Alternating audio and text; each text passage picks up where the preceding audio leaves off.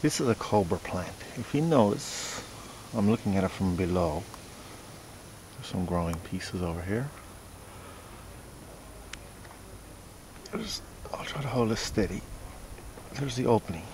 Uh, that tongue hanging down there. That has nectar which go, run right up to that red ring that lines the opening. And it's very juicy up there with nectar. So insects land on that tongue or they land. On this piece of leaf edge follow that up which goes also up there. You see it. They enter through that that opening and then they don't realize they're going into something because it's so bright because the sun is hitting the windows.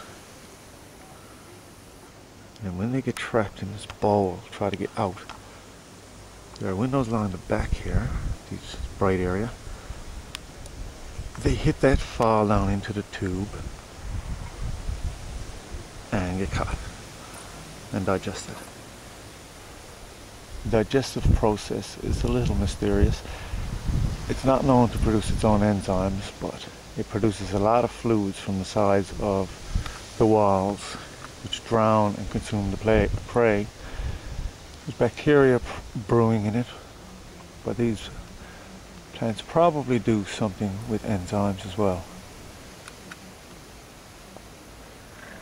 Cobra lily, the Darlingtonia californica.